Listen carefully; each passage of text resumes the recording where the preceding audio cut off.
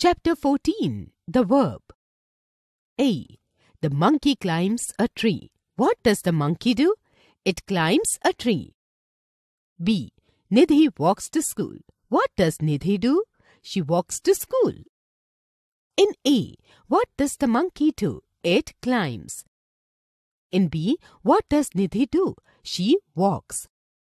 Thus, climbs and walks are words that show certain actions.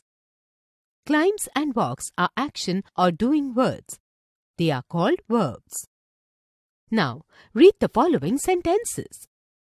1. She speaks Hindi and English. 2. Anuj eats banana. 3. Dogs obey their masters. 4. The boy flies a kite. 5. She washes dirty clothes. 6. Nitya laughs. In the above sentences, speaks, eats, obey, flies, washes, and laughs are verbs. A verb is mainly a doing word. It describes the action that a person does. Such a verb is also called an action verb.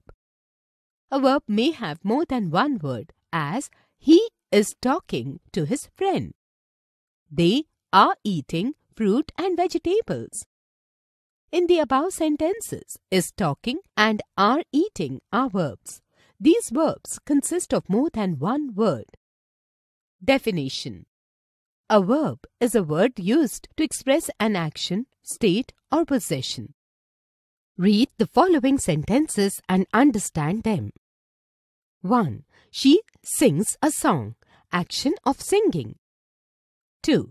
India is a large country. State of being a large country. 3. My aunt has a pet dog. Possession of a pet dog.